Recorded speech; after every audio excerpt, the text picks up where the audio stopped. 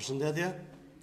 Siç jeni në dijeni, në fshatin Qinam, në njësinë administrative Zall-Herr, në datë 3.4.2020, në orën 23.30, persona të maskuar dhe të armatosur, duke u prezantuar si punonjës policie, janë futur në banesën e shtetasit BZ dhe nën kërcënimin e armëve, pasi kanë lidhur për pronarin e banesës kanë vjedhur një sasi prej dyzet mijë lekë të reja dhe më pas janë larguar. Menjëherë pas marrjes së informacionit për ngjarjen e ndodhur nga Drejtoria Vendore e Policisë Tiranë, u ngrit grupi hetimor në drejtimin e prokurorisë së rrethit gjyqësor Tiranë. Falë reagimit në kohë, veprimeve të shpejta dhe informacioneve të siguruar në rrugë operative nga shërbimet e Komisariatit të Policisë Kamëz, u bë e mundur identifikimi i autorëve të kësaj ngjarje të rëndë.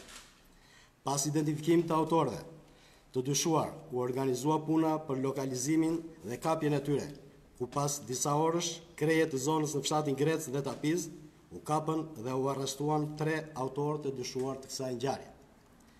Në përfundim të veprimeve të para hetimore, të kryera nga specialistët për hetimin e krimeve ndaj pronës në Drejtorinë Vendore të Policisë Tiranë, në bashkëpunim me specialistët për hetimin e krimeve në Komisariatin e Policisë Kamëz, u bë i mundur arrestimi i shtetasve. JA.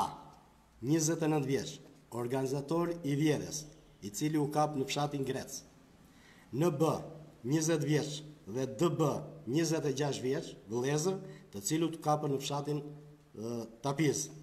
Në cilësinë e provës materiale, nga sekto u sekuestruan automjeti i përdorur nga autorët, si dhe një prej armëve e cila u gjet nga polumbarët e repartit special Renea, i hedhur në lumin Tapizë, dhe aktualisht grupi i zhytjes po punon për gjetjen e armës tjetër të përdorur nga autorët. Policia e Tiranës është e angazhuar maksimalisht për të luftuar krimin me qëllim krijimin e një ambienti shoqëror sa më të sigurt dhe në këtë kuadër fton qytetarët që dhe të denoncojnë çdo paligjshmëri në numrin 112 dhe në komisariatin dixhital, duke garantuar anonimat të plotë dhe reagim të menjëhershëm e të paanshëm. Ju faleminderit.